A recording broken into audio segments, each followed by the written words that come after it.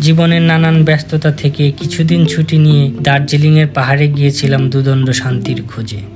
নিজের মতো করে অবকাশ যাপন শেষে দার্জিলিং পর্বের সমাপ্তি এখানেই। ফিরে যাচ্ছে বাংলাদেশে। এই কদিনের মাঝে দেশে অনেক ঘটনা ঘটে গিয়েছে, যা আমরা সবাই জানি।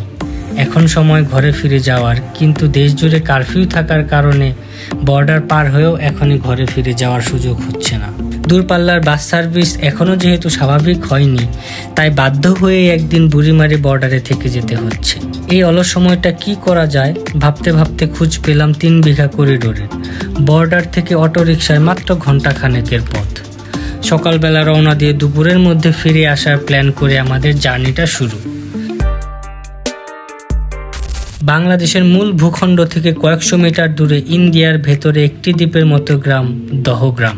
স্বাধীন সার্বভৌম একটি দেশের অন্য একটি অংশে যাতায়াতের জন্য যখন দ্বিতীয় কোনো দেশের মধ্য দিয়ে যেতে হয়, তখন তাকে করিডোর বলে। বুড়িমারি থেকে দহগ্রাম যাওয়ার জন্য আমাদের যেতে হবে সরু একটি রাস্তা ধরে, যা ইন্ডিয়ার মধ্যে পড়েছে।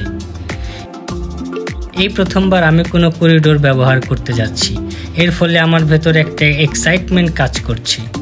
বাংলাদেশের আট দশটা গ্রামের মতো সবুজ শ্যামল পরিবেশের মাঝে পিচ ঢালা পথ দিয়ে এগিয়ে যাচ্ছি দহগ্রামের দিকে। চারপাশের গ্রামীণ সৌন্দর্য দেখতে দেখতে দ্রুতই পৌঁছে যায় তিন বিঘা করিডোরে। এখানে সিকিউরিটি বলতে খুব বেশি কড়াকড়ি নেই। বিএসএফের অফিসারগুলো চেক করার চেষ্টাও করেনি, বা কোনো কিছু জিজ্ঞেসও করেনি। খুব সুন্দর ছিল করিডোর ক্রস করার সময়টা।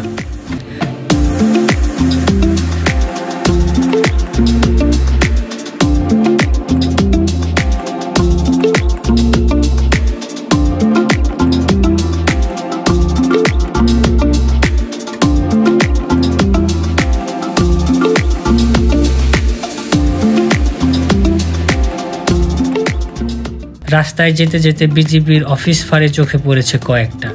ফাইনালি আমরা ইন্ডিয়ার ভূখণ্ড থেকে আবার বাংলাদেশের অংশে চলে আসছি। এখন আমরা আছি বাংলাদেশের তিন বিঘা করিডোরে। ইন্ডিয়ার একটি রাস্তা পার হয়ে বাংলাদেশের ভেতরে ঢুকেছি। গতকালকে ইন্ডিয়া থেকে বাংলাদেশে আসার পর আর বাস পাইনি। রাস্তায় খুবই ঝামেলা হওয়ার কারণে। যার জন্য আমাদের থেকে যেতে হয়েছে বুড়িমারি পোর্টের এখানে তো সারাদিন কী করব আর ভেবে পরে বের করলাম যে দিয়ে ঘুরে সচরাচর এদিকে আসা হয় না সময় হয় না। তো আজকে আসলাম এদিকে। তো ব্রিজটা দেখা যাচ্ছে এটাই হচ্ছে ইন্ডিয়ার ভেতরের একটি ব্রিজ এদিকে কোনো বর্ডার দেখতে পাচ্ছি না। এ পাশে এসে আবার বাংলাদেশি গ্রামের ভাইব পাচ্ছি। ইচ্ছে ছিল একদম শেষ প্রান্তে যেখানে ইন্ডিয়ার বর্ডার রয়েছে, সে পর্যন্ত যাওয়ার।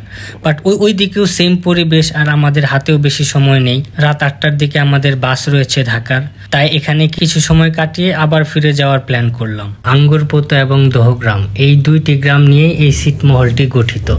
এখানে প্রায় সতেরো থেকে বিশ হাজারের মতো মানুষ বসবাস করে।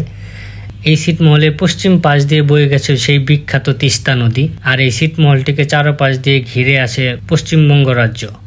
বাংলাদেশের মূল ভূখণ্ড থেকে এই ছিটমহলে আসার একমাত্র যোগাযোগের ব্যবস্থা হচ্ছে এই তিন বিঘা করিডোরটি।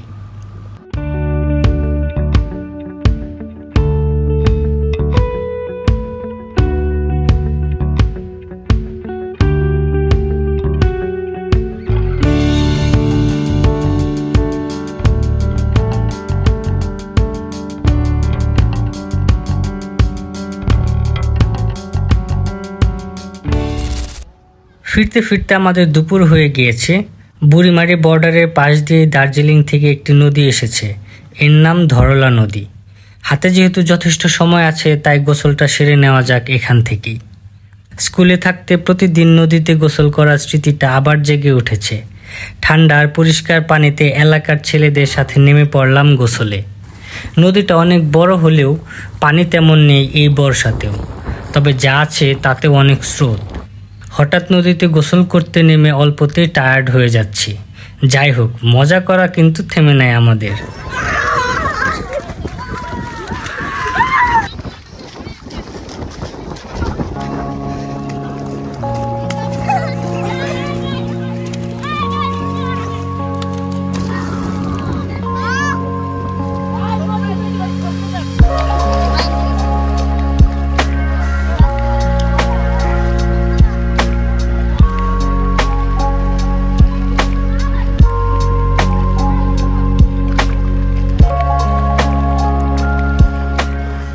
এখানে গোসল করতে আসার পর মনে হচ্ছে একদিন বুড়িমারিতে থেকে খুব বেশি লস হয়নি। এই ছিল আমার টোটাল দার্জিলিং জার্নির ইতিবৃত্ত। আশা করছি আপনারা সবাই এই সিরিজের সবগুলো পর্ব দেখেছেন। আর যদি না দেখে থাকেন, তবে এখনই দেখে আসতে পারেন। ভালো থাকবেন সবাই। Happy travelling